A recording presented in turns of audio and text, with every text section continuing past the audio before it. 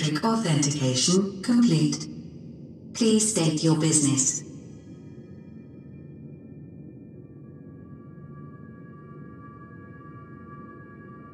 Acknowledged. Reinitializing Crystal Tower systems. Searching for Elidibus entity.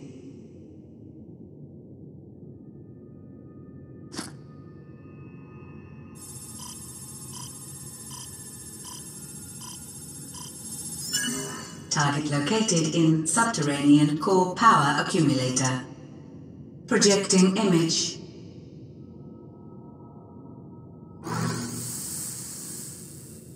My home. My friends. No more than a dream.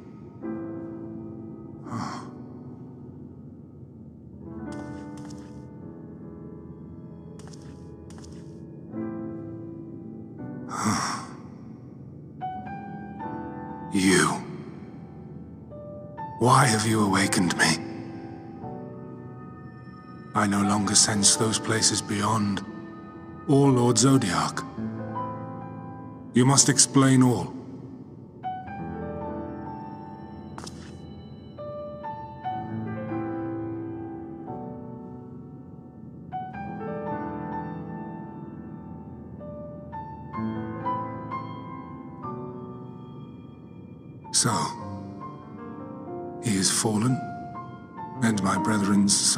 Returned to the star.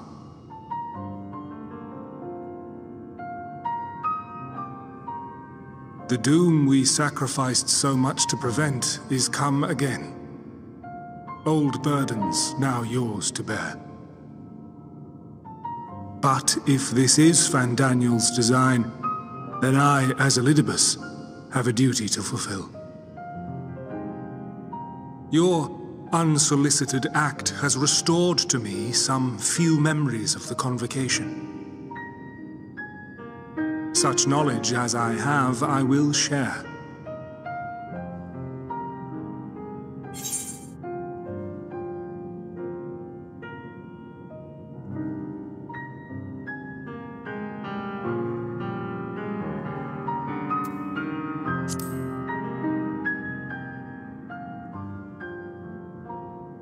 Why apologize for receiving a favor of the defeated? If it sits ill, consider it payment for freeing Lord Zodiark from servitude. Where to begin? Ah, the end. Your understanding of what caused the final days is consistent with our own. The decay first took root where the currents were weakest. Yes, a conclusion drawn by him, Fandaniel. Not the him of here and now, but as I knew him, long, long ago.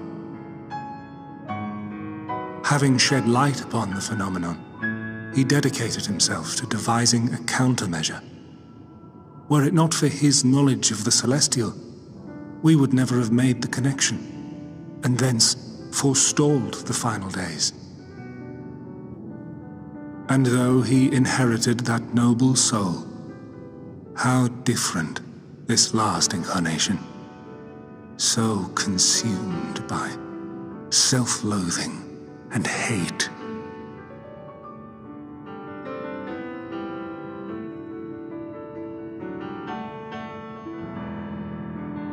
Elpis. Yes, the name is familiar to me. Yet I know it not as a flower, but a place.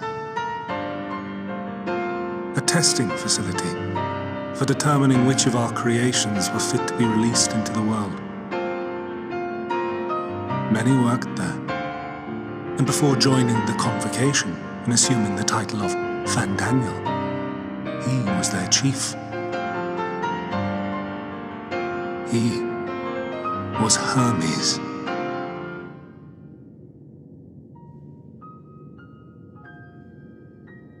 That is all I know. The crystals tell little of the lives the Fourteen led prior to their induction. Elpis itself would tell even less.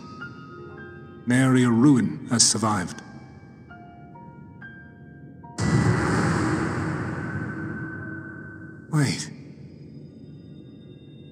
Saw you there. In Elpis. No. I did not. But I did. I did. A lingering trace of impossibility. And a truth that fills my heart.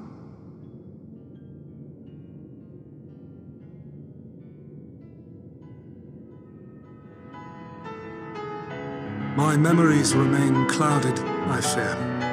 However, they have revealed to me one possible course.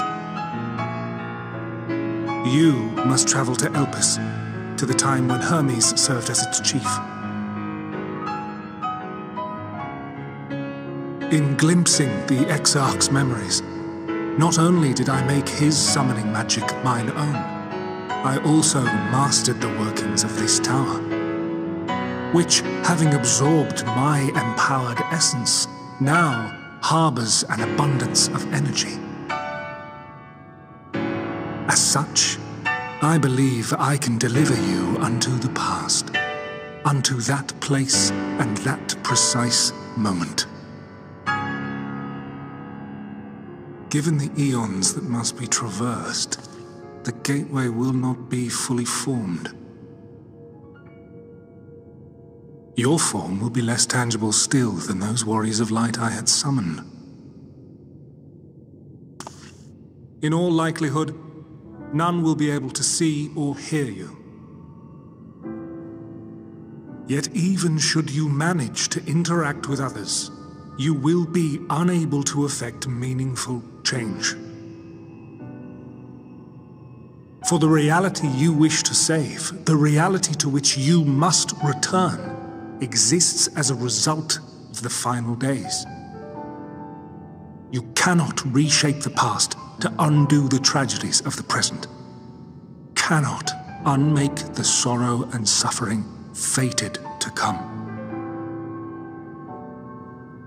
In full knowledge of this, will you still entrust your life to your foe and make the journey?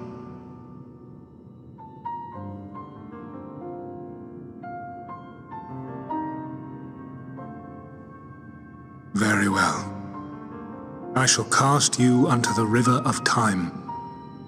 Let this be my final act. You must input the commands.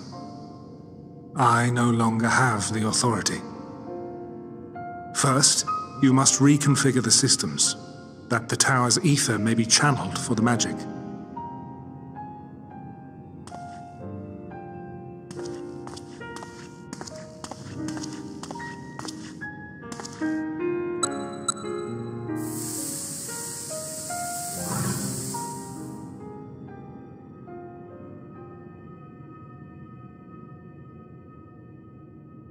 Preparations are complete. The gateway will soon open. Return at once to the ocular.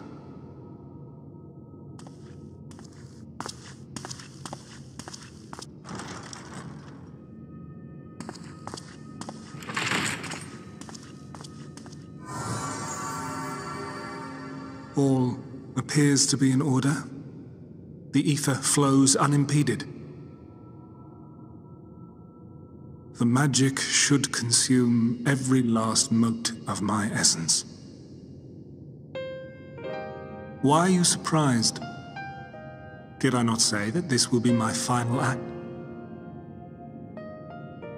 Lord Zodiark is no more.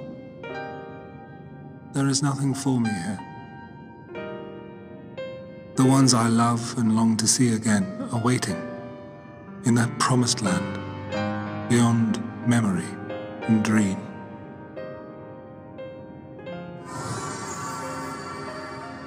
Now go, warrior of light. Go and do not look back.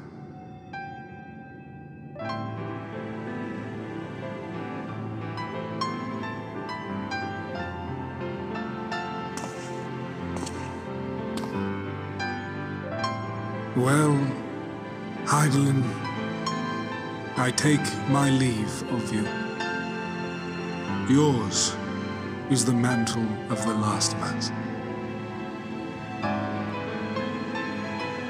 May you have the joy of it,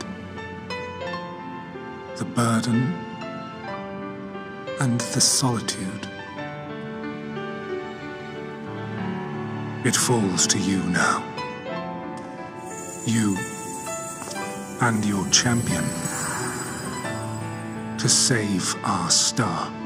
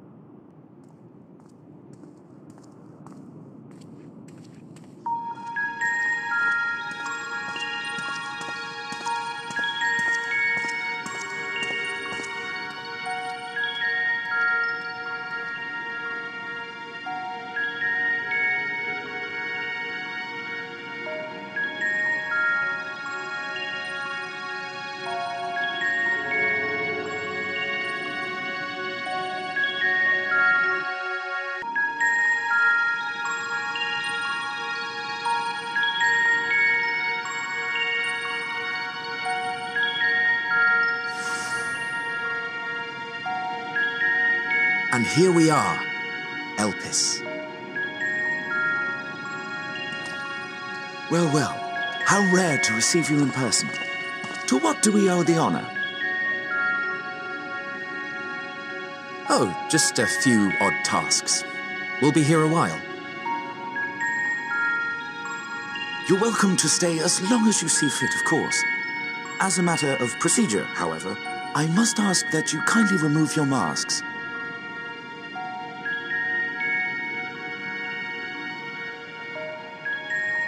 Come now. Is this truly necessary? Surely you can tell who we are. Who you are, perhaps, but I am far less infamous. Regardless, if we do not follow protocol, tis our hosts who would be held accountable. So, please, do favor us with your handsome face.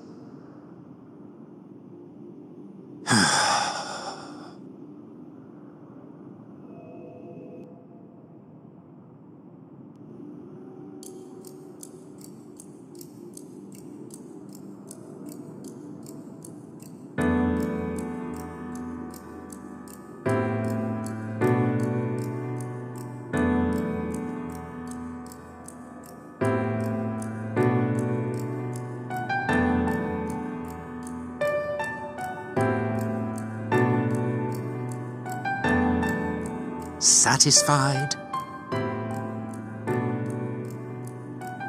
I thank you for your cooperation. You are free to go about your business.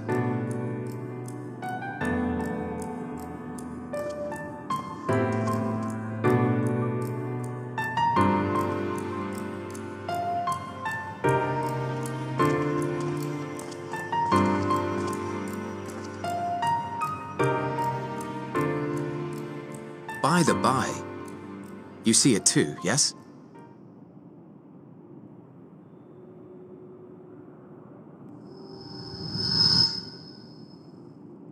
I haven't the foggiest what you're talking about. Hmm. That's odd.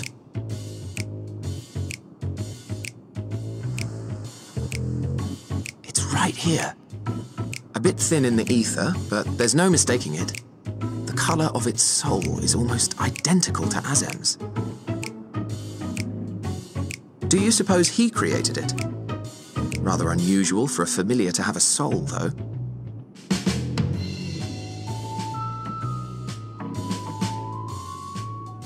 Don't ask me. All I know is that it's trouble. Doubly so if it's his spitting image. So let's leave it be. Come now.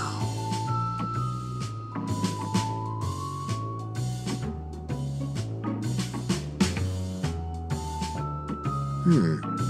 It's trying to say something, but it's literally too intangible to form words.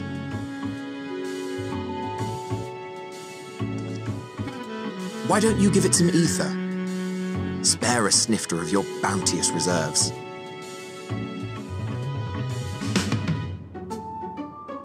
Who do you take me for? Why, a dear friend, of course. One who wouldn't let acts of kindness, such as my accompanying him on errands to far-flung outposts, go unrewarded? Ah.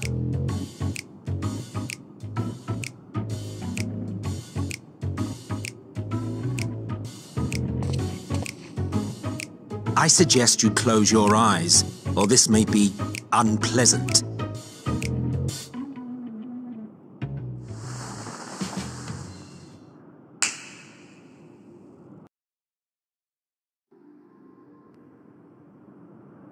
You may open your eyes.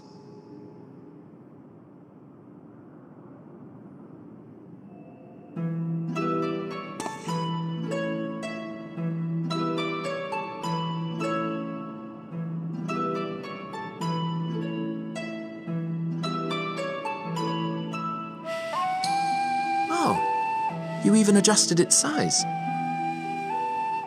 The better to indulge your whim. This way, it will be easier to communicate. How very thoughtful of you. And may I applaud your artful reinforcement. Without further ado then. Greetings! I am Hythlodaeus, Chief of the Bureau of the Architect. Sulking beside me is the most honourable Emet-Selch of the Convocation of 14. And how might we address you, my new friend?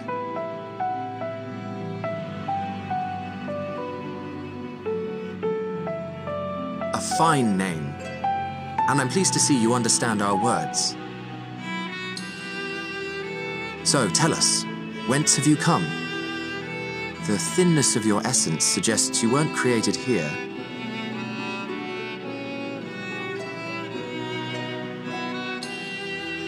You do not know?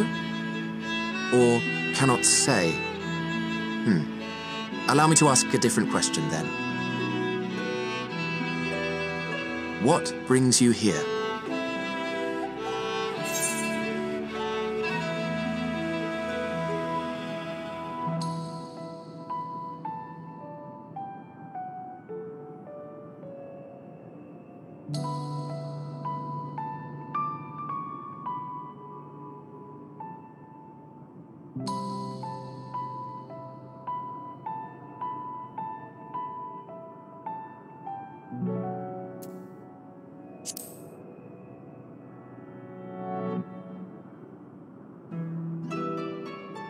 Well now, the same as us.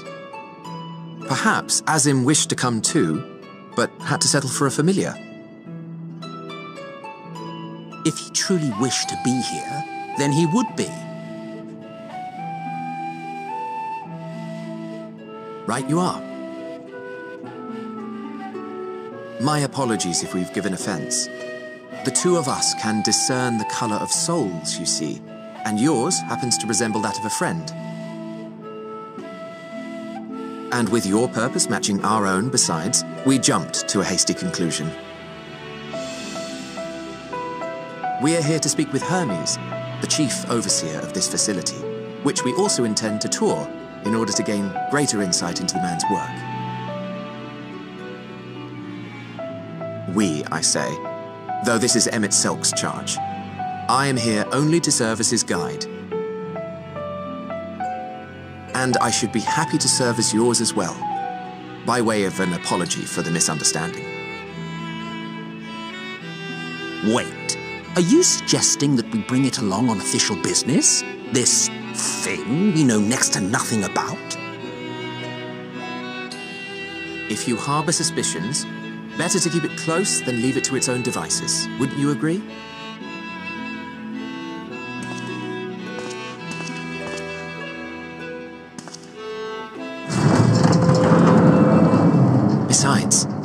A mysterious life form in tow is the norm rather than the exception here.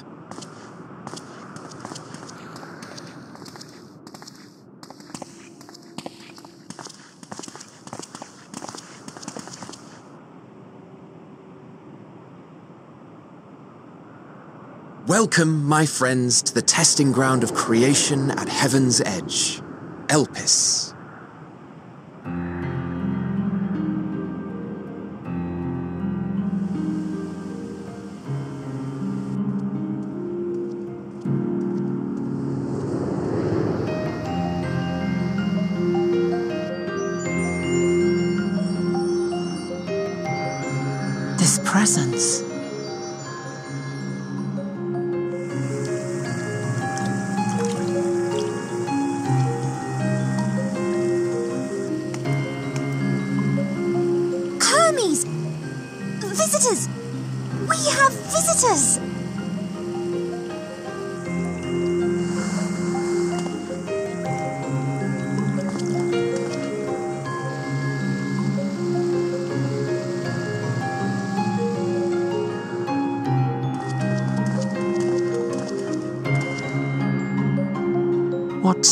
Are you hiding,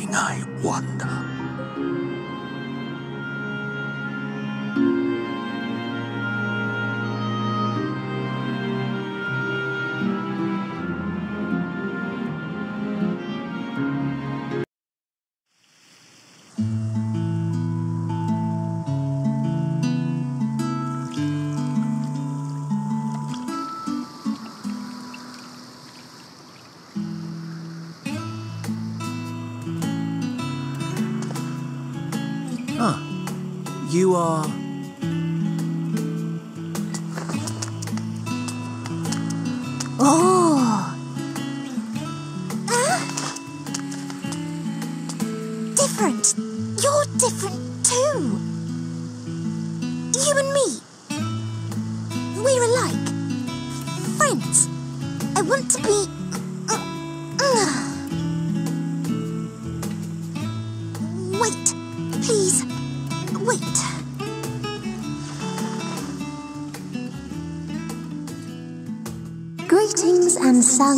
Can you hear me? Do not be alarmed. I mean you no harm. I wish only to hear your words, share your feelings, and know your thoughts. May we please be friends?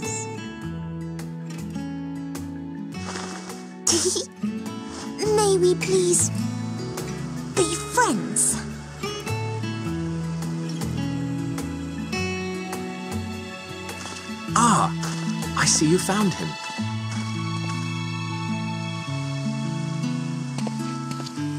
It's Ladeus.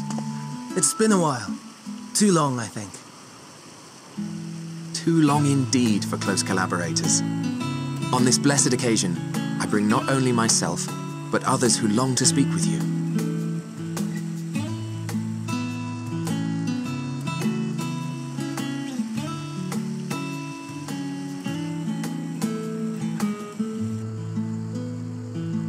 Of the convocation. Emet-Selch at your service. Do I have the honor of addressing Hermes, Chief Overseer of Elpis? You do. You have traveled far for it. Given your facility's purpose, its remote location is something of a necessity. Would that I didn't have to rely upon a guide. Oh, you wound me. Have I not ever been an attentive and helpful friend? But moving along to more agreeable company, this one we chance to...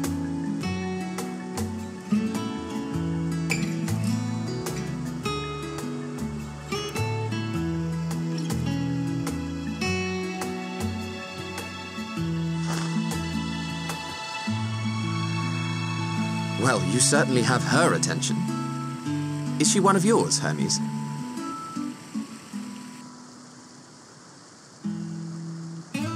Her name is Meteion. It means shooting star.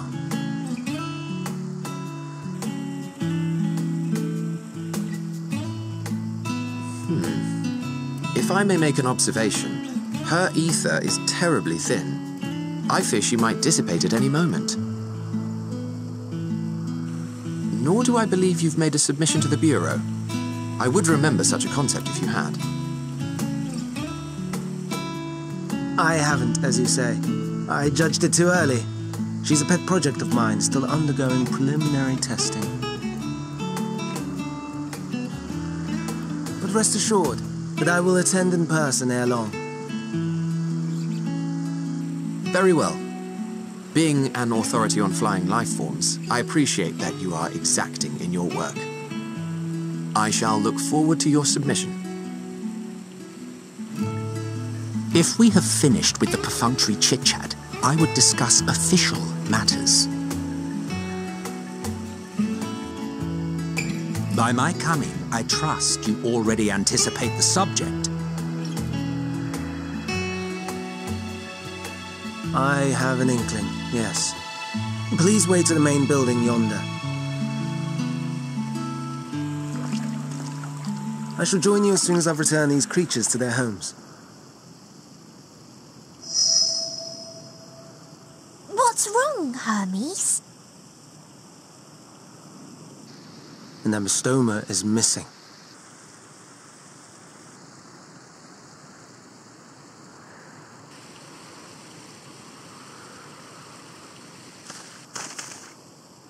Hmm. I may have found it. A creature with the self-same ether as those there, nestled in the boughs of a tree outside the grounds.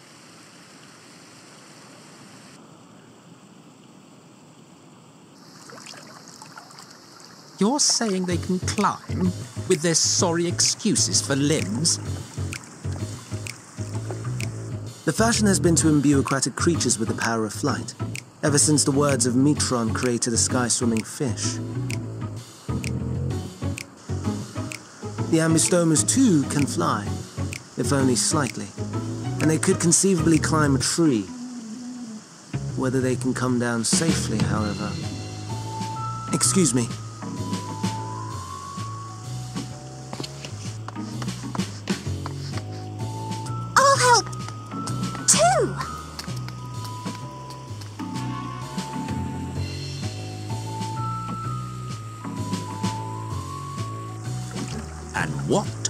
Supposed to do with this lot?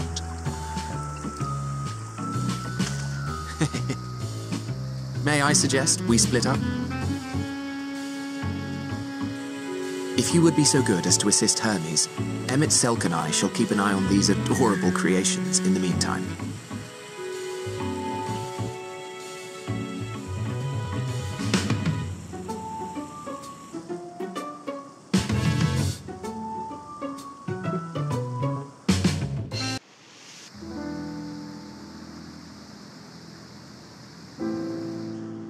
This appears to be the place. And here is where we part ways. We will be discussing highly sensitive affairs. Only a select few may be privy to such knowledge, and that does not include someone who cannot or will not divulge their origins.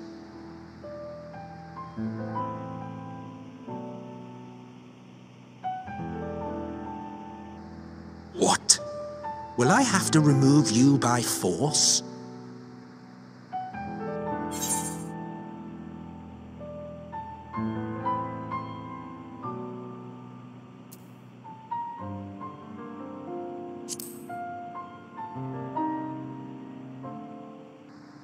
Yes, I'm sure your business with Hermes is quite pressing. You may speak with him to your heart's content after ours is concluded. I do not object to his attendance. Hermes, this is highly irregular. Perhaps, but I believe he can be trusted. Meteion would not have taken to him so quickly otherwise. Moreover, the presence of a third party may help me to maintain composure.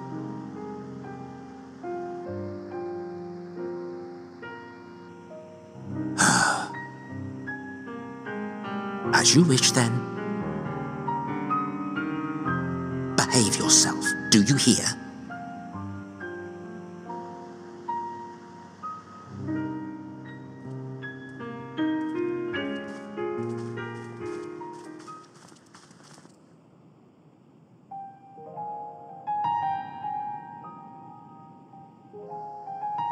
So, it's finally happened then. Aye. Fandaniel has declared his intention to step down and named you as his preferred successor.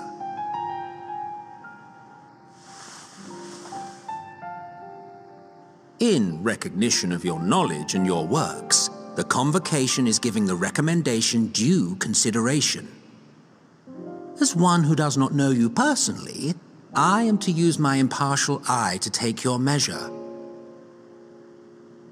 And above all else, to ascertain your disposition towards the invitation.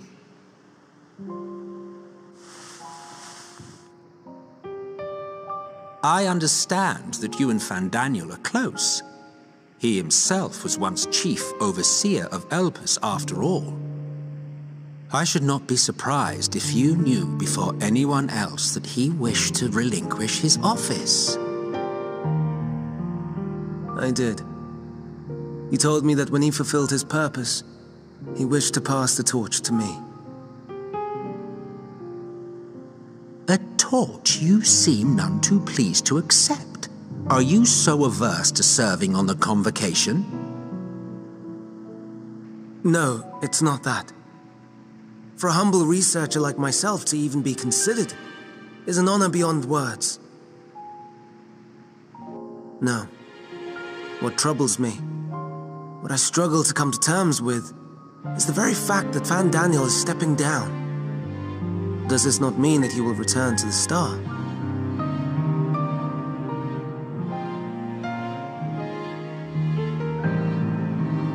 Of his own volition, yes, like so many others have before him. Return to the star? Does that mean Well, now, that's not a word I hear often. Is that what you say here in Elpis? Mankind is the life of Aetheris. Each of us, a drop of blood flowing through its veins, bearing sustenance. In our finite time upon it, tis our duty to make it a better place, that all who call it home, now and in future, may abide in happiness. To that end, we have dedicated ourselves to the pursuit of enlightened creation. And by our efforts did we transform this once untamed wilderness into the peaceful paradise you enjoy today. To return to the star whence we came is a privilege afforded to we who have so loved and nurtured it. Choice embraced by those who have lived their lives to the fullest, in service to our world. And when they depart upon this journey, it is beautiful, always. The fourteen are no exception. Tis believed no occasion is more felicitous than the fulfillment of one's duty. Our office becomes our lives, and to retire is to return, or so the majority of us hold. Some few have elected to eschew custom.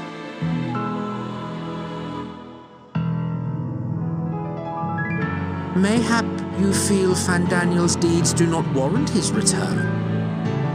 Yet you should know his accomplishments as well as any. During his time, he conceived of countless outstanding concepts, Channeling the wealth of experience he attained here in Elpis, he brought forth many new specimens. I know of all this. I do. It's just. I cannot fathom why someone so great and wise, who could still do so much good, would want to end it all.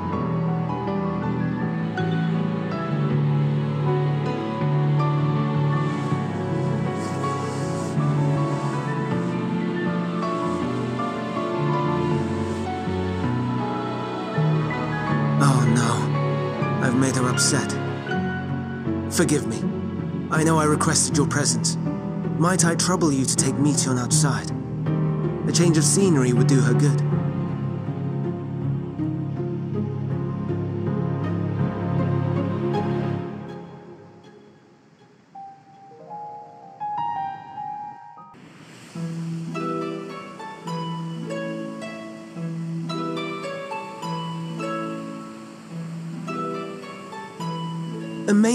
Is it not?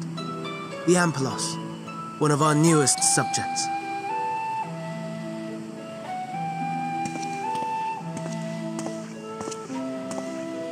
So, how are we coming along?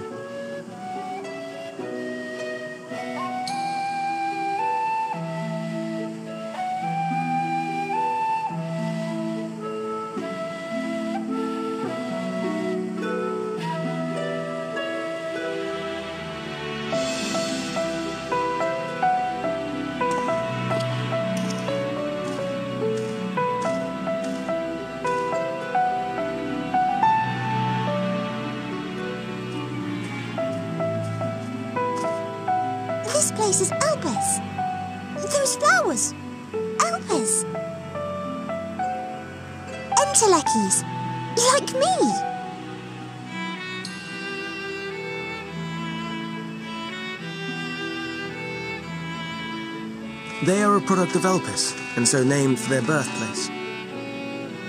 A happy accident born of the hands of a former researcher who loved beautiful blossoms. Unique for how they change color to reflect the emotional state of those nearby.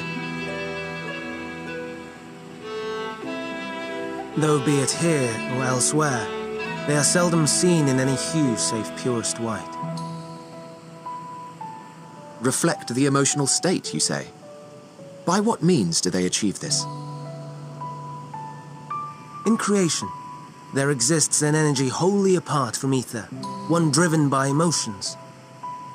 In like manner to how we manipulate ether, this flower is subject to the influence of said energy.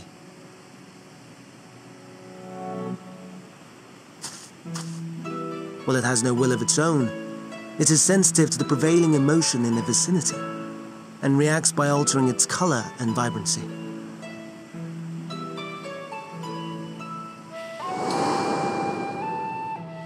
Akasha? It is one of the unseen energies defined by Harnish alchemical theory. Though a gross oversimplification, some describe it as an essence influenced by feelings.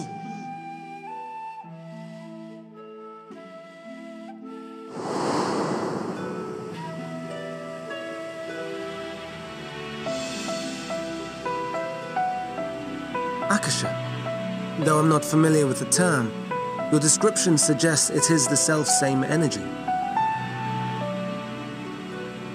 Dynamis, we call it. And those entities like the Elpis flower that have the ability to interact with this energy, converting emotions into tangible phenomena, are Entelechies.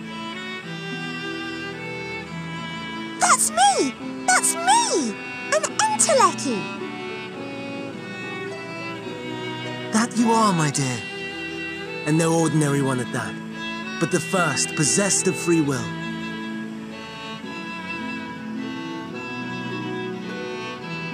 Wait! A form of energy other than ether? Dynamis? I've never heard of such a thing. Hardly surprising. Dynamis cannot be seen, much less felt. And though its existence has long been theorized, we had no proof until the flower's serendipitous creation. What's more, Dynamis is far weaker than Ether.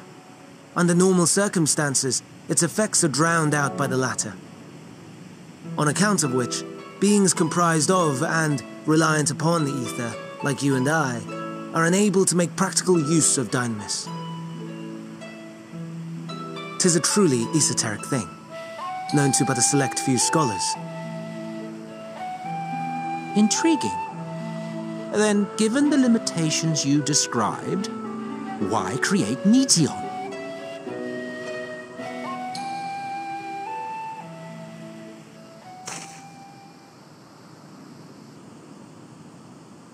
Our star, Aetheris, is especially rich in ether, so much so that its name is derived from it.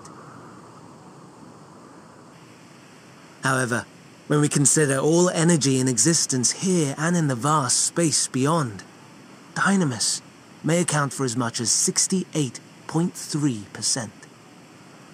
The more abundant form by far.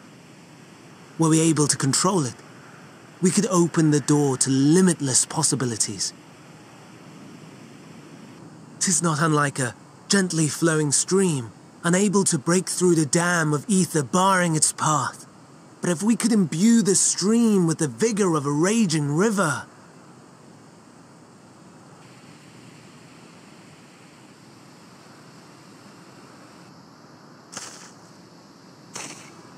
Ah, not that I have such grand ambitions. Nay, I merely wish to create a being that could traverse the great expanse.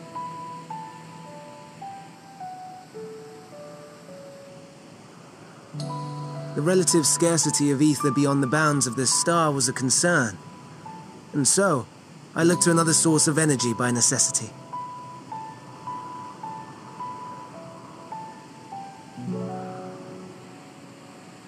That being Dynamis.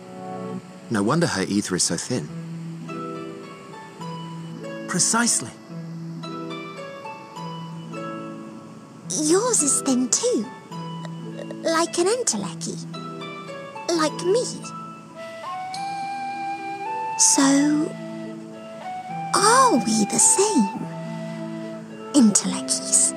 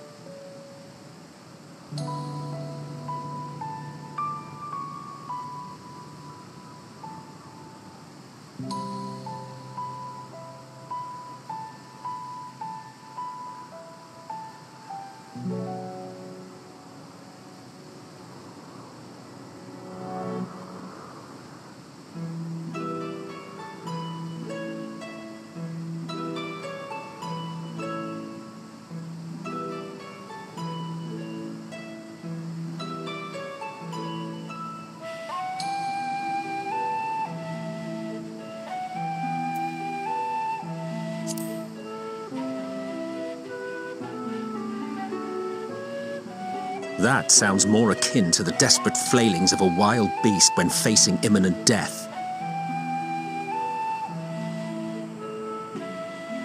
A deficit of ether alone does not an Entelechy make. It would, however, make it easier for you to interact with Dynamis. And limited though its influence may be, this quality could prove the difference between victory and defeat. You'd do well not to underestimate it.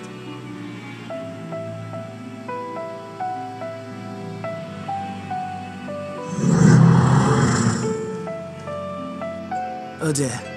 I'd forgotten about the poor fellow. You must excuse me a moment while I go and verify a few more things.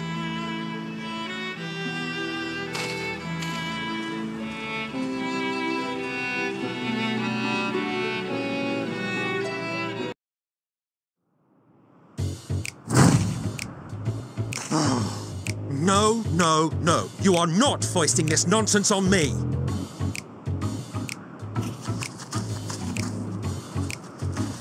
I'm given to understand you have the power to help the Charybdis, and should be quite willing to do so.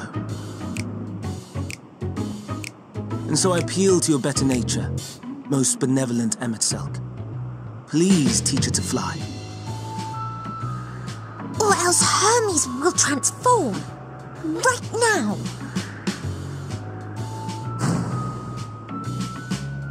Now, now, there's no need to go quite that far. Altruism is its own reward, as I'm sure he would agree. Oh, would he now? And who contrived to put me in this position, pray tell? Nothing so devious. I merely suggested a possible course of action.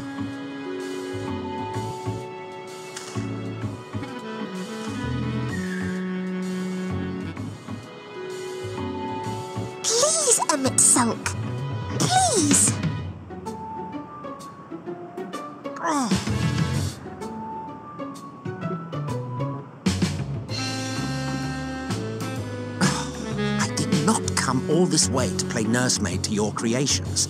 I'd thank you to remember this favor and let it be the last.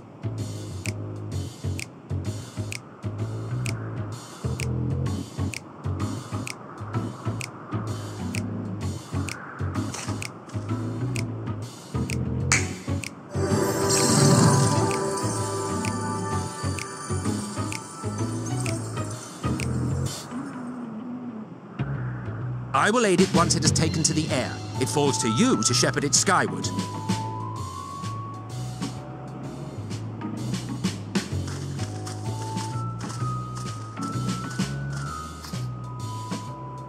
Well, let's relax and enjoy the spectacle, shall we?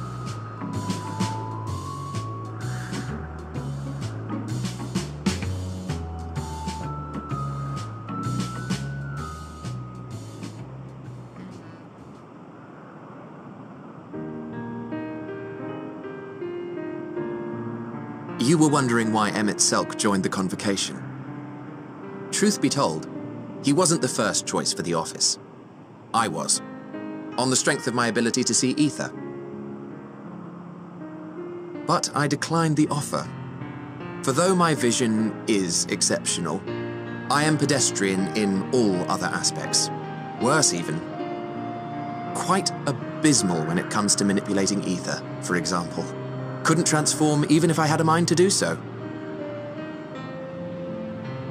What good is the ability to perceive a problem if one cannot act to address it? Emet-Selch has no such shortcomings. He excels in vision and manipulation both, the latter to an extraordinary degree. If there is a mage more powerful, I do not know of them.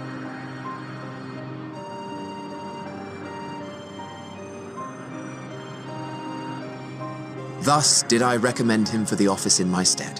And I wasn't the only one. Far from it. Countless others vouched for his skill and character. People the world over, to whom he had previously lent a helping hand. Hmm. oh, how surprised he was. Claimed he hadn't done anything remarkable for anyone. Modest to a fault. He deserved every bit of acclaim he received. Yet he may well have gone unappreciated were it not for a mutual friend. A singular soul who can't help but involve himself in the business of others. Where he walks, excitement is certain to follow. His antics irritate Emet-Selch to no end, but much of his grumbling stems from genuine concern. When our friend calls, he never fails to answer and lend his talents.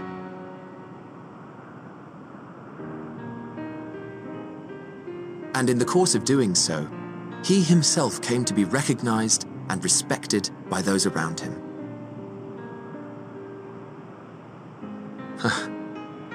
they are truly remarkable individuals, and I'm proud to call them friends. To help them realize their dreams. This will be my greatest contribution to our world. And when they have fulfilled their respective purposes, so too shall I have fulfilled mine, and together we may return to the star. Look at me, spilling my innermost secrets. I can't seem to help it with you. I can only assume it is due to the color of your soul. I just don't understand how you can be so alike and yet so different.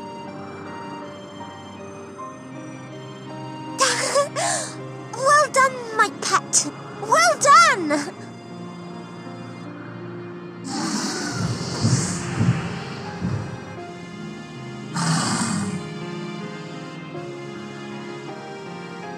Ah, yes.